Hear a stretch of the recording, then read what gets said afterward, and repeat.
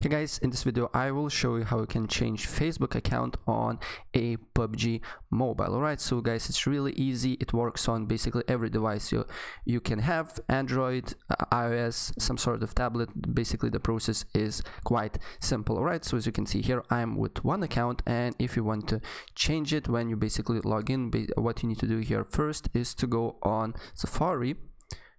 As you can see here, I will go on Safari.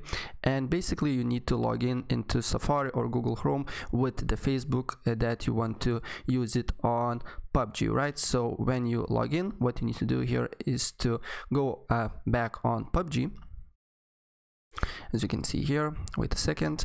Uh, press on your profile. Uh, on, on a gear icon that is on the bottom. Then press log out all right as you can see here and then log in again with Facebook. And as you can see here it will be brand new account.